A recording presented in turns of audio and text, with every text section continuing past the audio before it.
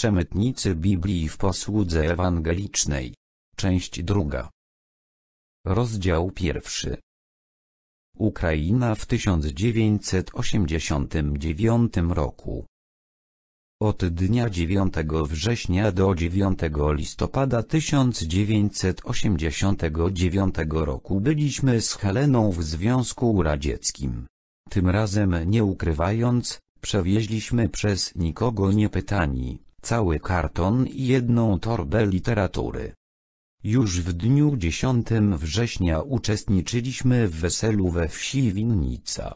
Miałem tam pierwszą okazję przemówić publicznie, zwracając uwagę obecnych na małżeństwo Jezusa z Kościołem i na owoc, w postaci odkupionej ludzkości, jako ich potomstwa. Prezbiterowi zboru pozostawiliśmy pierwszy tom w języku rosyjskim. Po zameldowaniu się w Owirze, dnia 14 września wyjechaliśmy do Donbasu, dokąd przybyliśmy 15 września. Dnia 17 września w przeszło milionowej Makijewce byliśmy na święcie żniw.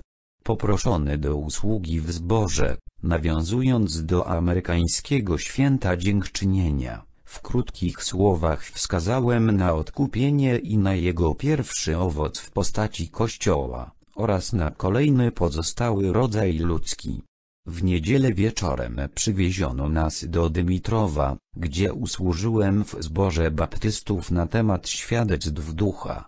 18 września byliśmy w Bielickoje, w zborze nierejestrowanych baptystów na specjalnie zwołanym przez nich zebraniu pytań i odpowiedzi. W atmosferze pełnej demokracji, na wzór kongregacji pierwotnego kościoła, było to naprawdę wspaniałe zebranie. Dlatego też nasze i obecnych serca pałały, gdy wspólnie otwieraliśmy pisma. Wówczas przekonałem się, że pomimo niepełnej znajomości języka rosyjskiego, słuchacze mnie rozumieją, i to dodało mi śmiałości do publicznych wystąpień. W Dymitrowie, nocowaliśmy u Żyda Baptysty, mieliśmy tak interesującą wymianę poglądów na tematy biblijne z licznymi osobami, w tym z jego zięciem że zdecydowałem się pozostawić im jedyny maszynopis tłumaczenia na język rosyjski szesnastego tomu, mapa boskiego planu, przepis redaktora wersji audio, współczesny tytuł epifanicznego tomu szesnastego to wykres boskiego planu, koniec przypisu redaktora wersji audio. Następnego dnia gościliśmy urodziny, gdzie przed kilkoma laty, po śmierci matki, Siostra Wiera wyszła za mąż za wdowca z ośmiorgiem dzieci, które wychowuje po chrześcijańsku. Niektóre z dzieci już przyjęły chrzest, pięknie grają i rodzinnym śpiewem uwielbiają Boga. Rodzina ta może stanowić wzór dla wielu chrześcijan. Od 20 do 21 września spędziliśmy czas na budujących rozmowach z licznymi baptystami w Krasnoarmiejsku, którzy nas również bardzo serdecznie przyjmowali. Tamtejsi współwyznawcy zajęci byli ochotniczą pracą przy remoncie domu młodej siostry, mieszkającej z chorym ojcem. Jest ona zaangażowana religijnie zadawała wiele interesujących pytań i właściwie reagowała na prawdę Słowa Bożego. Do Makijewki odwiózł nas ojciec rodziny, której czterech myślących, sympatycznych synów jest bardzo zaangażowanych religijnie. Jednemu z nich zostawiliśmy piętnasty tom. W Makijewce odnaleźliśmy Leona Zajdenkę, Żyda z Lublina, który opuścił Polskę w 1939 roku. Służył w Armii Czerwonej, był dwa lata na froncie. Gdy chciał, aby go przeniesiono do polskiej armii Berlinga, został skazany na 10 lat więzienia, z czego odsiedział 7. Wraz z zwierzącym synem Piotrem i córką przebywał obecnie na zaproszenie w Lublinie, gdzie odnalazł swoją siostrę, która w 1935 roku przyjęła chrzest, przetrwała wojnę, i po pięćdziesięciu latach spotkała się ze swym bratem. W Makijewce poznaliśmy również rodziców naszych gospodarzy. Matka, chora na raka, w pełni świadoma swego stanu, w swojej boleści pociesza drugich, i z chrześcijańską rezygnacją idzie na spotkanie ze śmiercią. W sobotę 23 września usłużyłem w zborze w Doniecku. Kilkaset osób, z Ewangelii Jana rozdziału 10 wersetów od pierwszego do szóstego. W niedzielę poszedłem do klubu żydowskiego, gdzie odnalazłem czterech polskich Żydów, w tym pana Flaksera, rodem z Łodzi, znającego kilka języków, w tym literacki polski. Zgodził się przełożyć na język rosyjski pierwszy i drugi tom Alii. W tym czasie Helena uczestniczyła w święcie żniw w Pietrowce, gdzie między innymi zapoznała Polkę lekarkę chirurga, która nie zna już języka polskiego, ponieważ rodzice obawiali się, że będąc Polakami zostaliby wywiezieni na Sybir. Posłaliśmy jej zaproszenie do nas. Wieczorem byliśmy oboje w centralnym zborze, gdzie po nabożeństwie mieliśmy spotkanie z miejscowymi Polakami, którym zostawiliśmy pierwszy tom i liczne broszury, ponieważ diakon Budarecki dobrze zna język polski. Inne polskie traktaty rozdaliśmy już w poprzednich miejscach. 25 września przybyliśmy na Krym do Dąbrowskich w Sakach. Dni od 26 do 28 września spędziliśmy w Jałcie. Cały czas mieliśmy społeczność braterską, rozmowy biblijne, w tym z bratem znającym język angielski. Rok temu otrzymał on od nas siedemnasty tom, a ostatnio zostawiliśmy mu do czasowego użytku dwunasty tom o Biblii. Z Bielc przekazaliśmy do Jałty maszynę do pisania, aby tłumaczenie było przepisane na czysto. Odwiedziliśmy w Jałcie także innych naszych znajomych, w tym siostrę, która służy swoim mieszkaniem wielu wierzącym. 29 września odwiedziliśmy sanatoryjną miejscowość Jewpatorie, gdzie mieliśmy spotkanie z trzema Żydówkami, głosząc im syjonizm biblijny i zachęcając do wyjazdu do Izraela. Młode polskie małżeństwo Chmielewskich, u których gościliśmy, opiekowało się byłym przestępcą, który za różne przestępstwa 25 lat przesiedział w więzieniu. Wielokrotnie usiłował pozbawić się życia, ostatnio na torach kolejowych, gdzie pociąg obciął mu obie nogi. Wszyscy się od niego odsunęli, a młody Chmielewski opiekuje się nim i głosi mu o Chrystusie. W Simferopolu byliśmy 30 września i 1 października w synagodze, w czasie obchodzonego Nowego Roku. Śpiewał 92-letni kantor z Hersona. Wzruszającym było patrzeć na tę garstkę Żydów, po tylu wiekach usiłujących zachować przepisy judaizmu. Przewodniczącym synagogi jest polski Żyd z Oświęcimia. Spotkaliśmy tam też innych polskich Żydów, w tym Kupermana, którego partyjny brat mieszkał w Lublinie. Mieliśmy również spotkanie i rozmowy z różnymi chrześcijanami, z których niektórzy wykazują zainteresowanie prawdą. 3 października przybyliśmy do Hersona, gdzie zapoznaliśmy Sergieja. W wieku 15 lat skazany został na wieloletnie więzienie, w którym spędził 12 lat. Tam też poprzez więźnia, wierzącego z Nikołajewa poznał Chrystusa, uznał go za swego Zbawiciela i poświęcił się Bogu. Wiele pomocy udzielił mu nierejestrowany zbór z Nikołajewa. Po wyjściu z więzienia przyjęła go do dwupokojowego mieszkania rodzina mająca wówczas ośmioro dzieci, obecnie dziesięcioro. Zadawaliśmy sobie pytanie, czy w którymkolwiek innym kraju okazałby ktoś tyle serca i pomocy byłemu przestępcy, jak to miało tu miejsce. Osobnego omówienia wymagałoby przedstawienie późniejszych losów tego nowo nawróconego i przywróconego społeczeństwu Sergieja, któremu KGB oprócz innych szykan groziło, że w zakładzie psychiatrycznym zrobią z niego dziecko. Dzisiaj jest już diakonem, ma miłą żonę, dwoje dzieci, mieszkanie i dobrą pracę.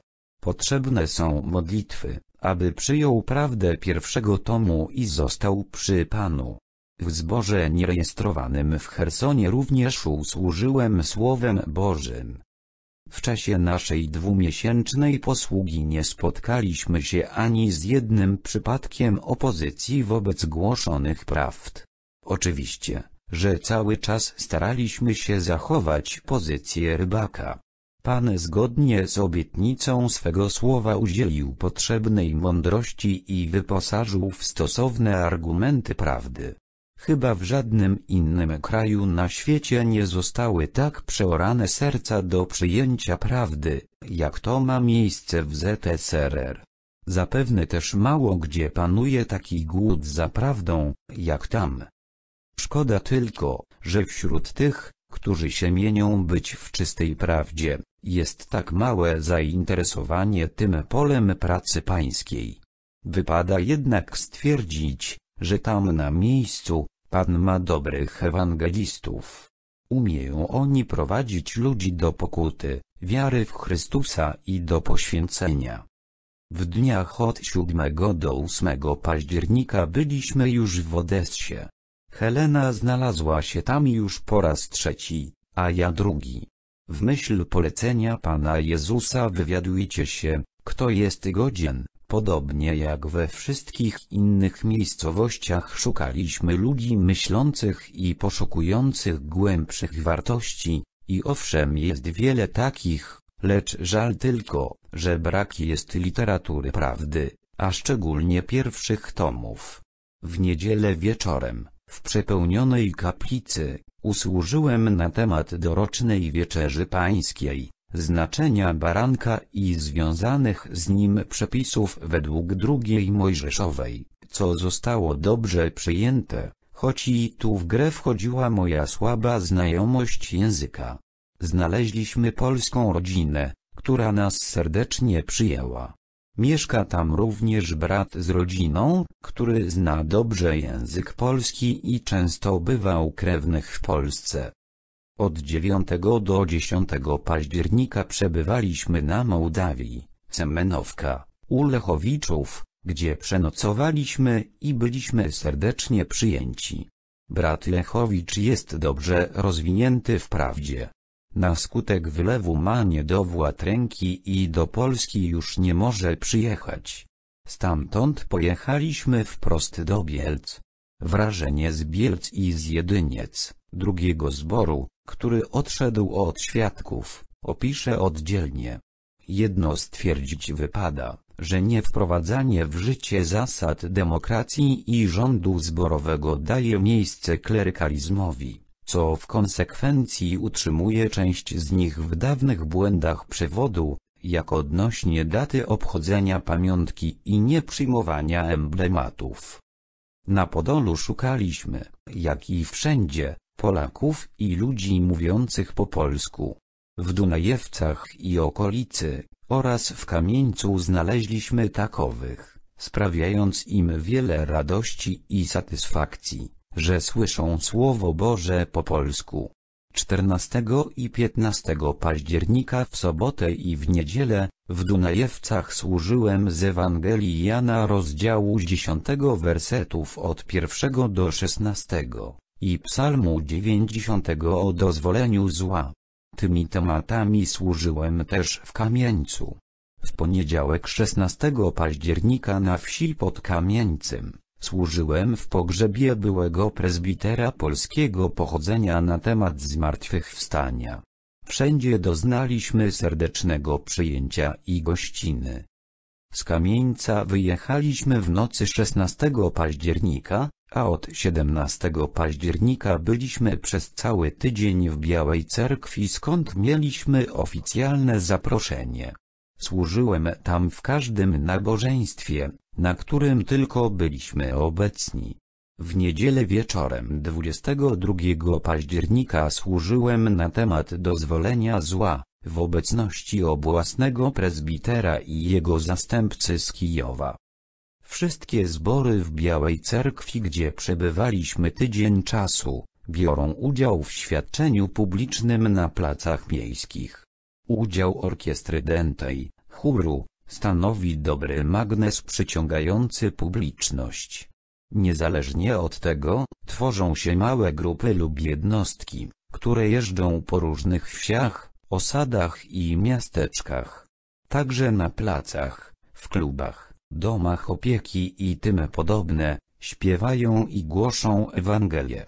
Jednym z misjonarzy jest Włodzimierz Kosiński, który sam, lub w kilka osób, swój wolny czas poświęca na tego rodzaju działalność na terenach, gdzie nie ma ludzi wierzących.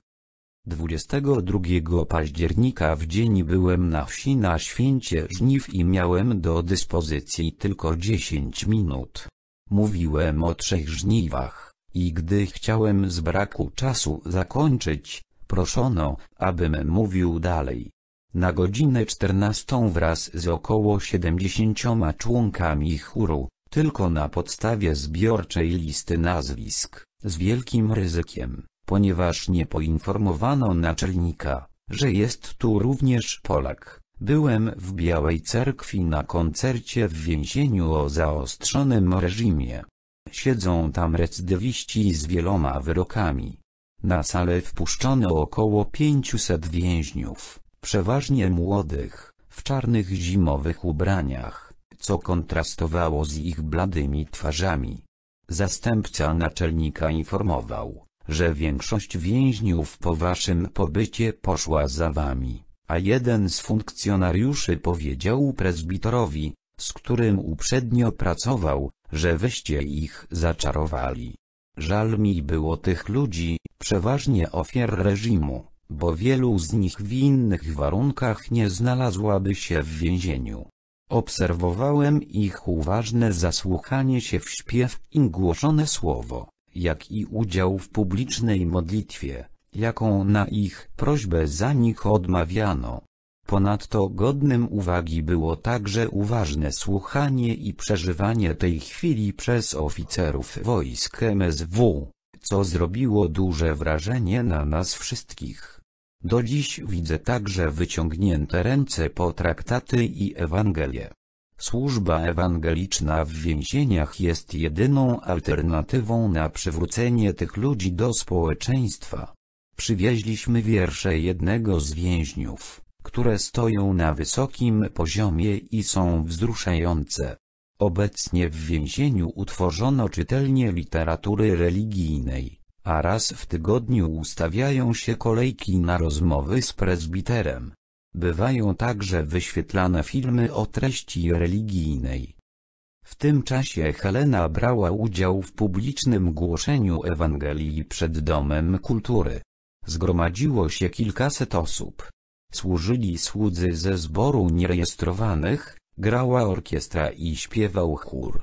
Potem rozdano Ewangelię i broszury, wszyscy pragnęli je mieć.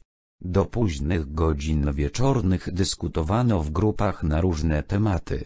Wdzięczne jest tam pole do głoszenia Ewangelii, gdzie panuje duchowy głód i chęć poznania prawdy. Istnieje więc wielka potrzeba literatury. W naszej usłudze w Białej Cerkwi nie atakowaliśmy wprost błędu, lecz staraliśmy się podawać prawdę. Tamtejszy prezbiter prosił o materiały do tłumaczenia Biblii, a jego zastępca powiedział, że szkoda, iż nie byliśmy dłużej na miejscu, bo on wiele skorzystał, choć powywracałem mu dotychczasowe poglądy. Pierwsze tomy, jakie tam zostawiliśmy, w sposób zdecydowany przekonały do jego treści kilka osób, które deklarują swą wiarę w prawdę. Od 25 do 27 października byliśmy w Kijowie. Służyłem tam w dwóch zborach przy kilkusetosobowym audytorium. Byłem o tyle w lepszym położeniu, że miałem doskonałego tłumacza w osobie muzyczki. W największym zborze prezbiterem i jego zastępcą są Polacy, którzy jednak nie znają już polskiego języka. Po piętnastu latach Helena spotkała się z aktywną siostrą, niegdyś przed deportacją Winca do USA, współpracującą z jego rodziną. W poszukiwaniu lepszej prawdy odeszła od baptystów. Ogólnie i tu spotkaliśmy się z bardzo dobrym przyjęciem i sądzimy, że związki nasze będą się bardziej pogłębiały. Muzyczko wyraził gotowość tłumaczenia tomu trzeciego Alii, prosząc o książki związane z eschatologią, co uczyniliśmy wysyłając pocztą stosowną literaturę. Wszędzie mieliśmy okazję wyjaśnienia proroctwa o antychryście. Wszyscy w ZSRR spodziewają się go jako jednostki, a jego zwodzenie trwające trzy i pół lat ma mieć miejsca w literalnej świątyni w Izraelu. W Żytomierzu byliśmy trzy dni, i przez dwa dni trzema tematami służyłem w rejestrowanym zborze. Prezbiterem jest Popławski, nasz przyjaciel, którego już dwa razy gościliśmy u siebie. Jak poprzednio, tak i tu wskazywałem na dwa zbawienia i na cel dozwolenia zła, to jest, aby ludzie przez sześć symbolicznych dni uczyli się, co to jest grzech, natomiast w tysiącletnim dniu o sprawiedliwości. Wieczorem służyłem z psalmu 133, wskazując z Efezjan rozdziału czwartego na podstawę prawdziwej jedności. Ten wdzięczny temat umożliwia obalanie sekciarskich poglądów i uwypuklenie nieosobowego pomazania Duchem Świętym członków arcykapłana świata, pozaobrazowego Arona. W tym zborze, na zakończenie urządzono nam szczególnego rodzaju pożegnanie. Dwukrotnie śpiewał chór, wręczono nam kwiaty i z życzeniami odczytano na pamiątkę teksty z Biblii. My również ofiarowaliśmy im fragment z Efezjan rozdziału trzeciego wersety od 14 do 21 oraz z pieśni tysiąclecia zaśpiewaliśmy w duecie pieśń numer 12. Było to pod każdym względem wzruszające pożegnanie. W Żytomierzu zwiedziliśmy kościół rzymski i polski cmentarz. Kościół jest odnowiony, a wszelkie malowidła wykonali dwaj baptyści. Wzruszającym było widzieć starsze kobiety, nawet z odległych wiosek, modlące się na dziedzińcu w oczekiwaniu na wieczorne nabożeństwo. Dla nich kościół na tych terenach, to nie tylko ostoja wiary, ale i polskości. Na cmentarzu byliśmy rok temu i przedstawiał on wówczas żałosny widok, co pobudziło mnie do napisania pisma do Ministerstwa Kultury, aby zainteresowało się śladami materialnymi Polaków na tych terenach. Obecnie cmentarz przedstawiał zgoła odmienny wygląd. W miejscowej prasie wezwano ludność, aby w soboty wyszła do prac zabezpieczenia i odnowy tamtejszych zabytków i grobów polskich. Tam też spotkaliśmy ludzi, z tak zwanego ruchu, w tym pisarza Grabowskiego, którzy są inicjatorami tych prac na cmentarzu. Tam też usłyszeliśmy wywiad z naocznym świadkiem samospalenia się na tym cmentarzu w 1926 roku prześladowanego przez GPU miejscowego księdza rzymskiego. Jego grób znajduje się obok grobu biskupa przy zrujnowanej kaplicy cmentarnej. Z Żytomierza pojechaliśmy na jeden dzień do Nowogradu Wołyńskiego, gdzie zdobyliśmy kilka interesujących kontaktów do dalszej współpracy, oraz uczestniczyliśmy w budujących rozmowach. Przez Równe przyjechaliśmy do Kostopola, Berezna gdzie zdaliśmy krótką relację z naszej podróży, a bardziej szczegółową na zebraniu w Orłówce. Potem byliśmy w Małyńsku. Wieczorem usłużyłem miejscowemu zborowi. Następnie pojechaliśmy do Kostopola, skąd 4 listopada z dwoma braćmi z Wołynia pojechaliśmy do Lwowa. Tam spotkaliśmy się z moim bratem Janem, który powrócił właśnie z Sybiru, i Wiktorem Rylem, który przyjechał z Białej Cerkwi. W sobotę zdałem relację kilku braciom, a obszerniejszą na niedzielnym zebraniu. Jan z Wiktorem pojechali na Zakarpacie do Mukaczewa i Kluczarek. Po powrocie do Lwowa, miał się udać do Nowowołyńska.